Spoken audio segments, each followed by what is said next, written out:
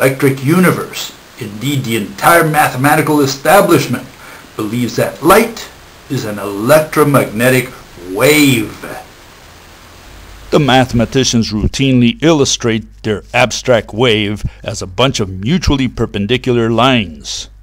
The mathematical wave consists of an electric field and a magnetic field. In this scheme of things, wavelength is defined as the horizontal distance between peaks and amplitude as the vertical distance between peaks. The electromagnetic wave of the religion of mathematical physics travels one way, in a single direction, and for never explained reasons oscillates around an axis. Frequency is defined as the number of peaks per second. Physics, however, is first and foremost the study of objects. We cannot do physics without objects. What would there be to study? What would there be to see? What experiment can you run without an object? Even thought experiments are done with images. Unfortunately for our misguided mathematicians, there is no object in physics called a wave. Wave is not what something is, but what something does. The wave of mathematics is not a noun, but a verb. Likewise, there is no object in physics known as a field. The word field is also a concept, and as such, it doesn't belong in physics as a physical object.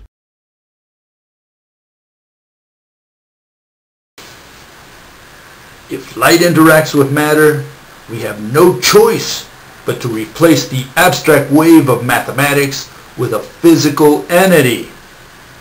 The trick is to break the code, to discover the correct configuration of the entity that underlies the phenomena we call light.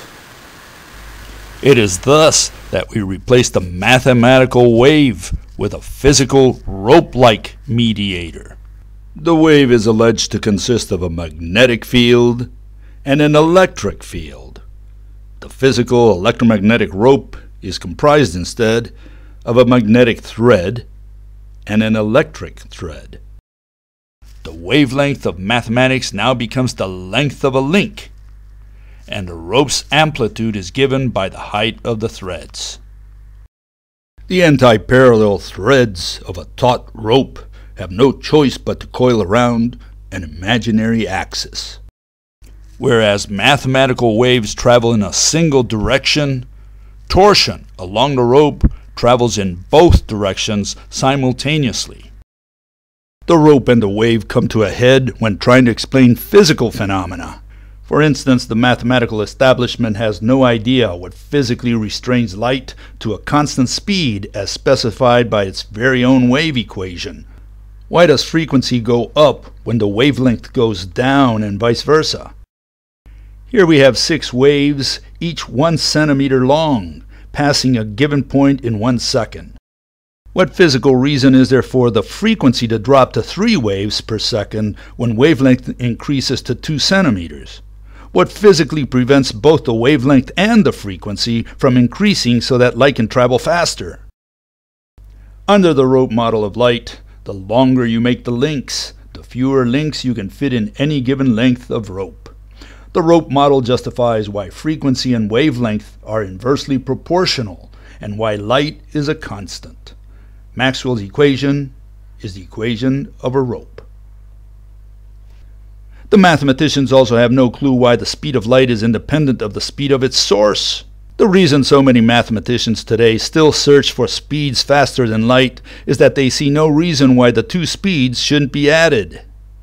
Logic would suggest that the light is travelling at the speed of light from the torch, but then I need to add on the 140 miles an hour that the train is going. Under the rope model, when an atom is approaching another one, it reels in the electromagnetic threads which now form part of its body. An atom slides along any given rope like a bead on an abacus. This is how Mother Nature secretly does this magic trick. Under the rope model of light, there is no mystery as to why the speed of light is independent of the speed of the source. To make matters bleaker for the quantum wave, an atom allegedly manufactures light when the electron bead quantum jumps. This signal, energy, radiation, or whatever, travels off to nowhere and comes from nowhere. A pertinent question then is whether a wave manufactured in an atom of the Andromeda galaxy travels like a sailboat through the cosmic ocean all the way to Earth, or extends from there all the way to here. Where does the mathematical wave begin? Where does it end? Under the rope model, an atom in the Andromeda galaxy is permanently bound to any atom comprising the solar system. The electromagnetic rope interconnects any two atoms in the universe. Torsion has no chance of getting lost irrespective of where an atom moves. Whereas quantum mechanics proposes that atoms are discrete independent entities, the rope hypothesis proposes that all atoms in the universe are interconnected.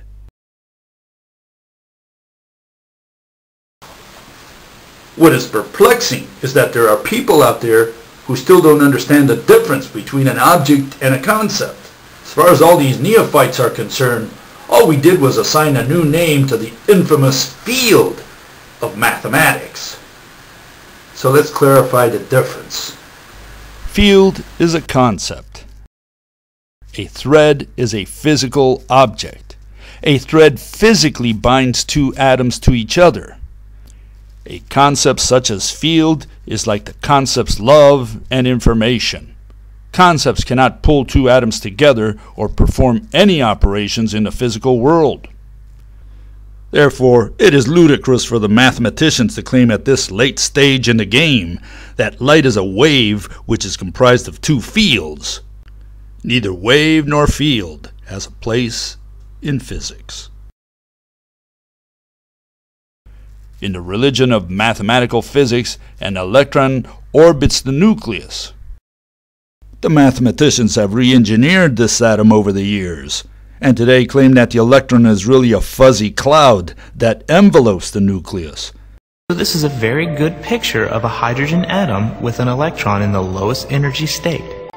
The electron occupies a cloud instead of an orbit. But this is a circular argument, because the mathematicians allege that this cloud is a region where we can find an electron. Now, what's a cloud? A cloud is an area where the there's the most probability of finding an electron. Imagine that we take a picture of this electron every second for a day, a week, or month. We see that all these pictures laid on top of one another begin to form an electron cloud around the nucleus.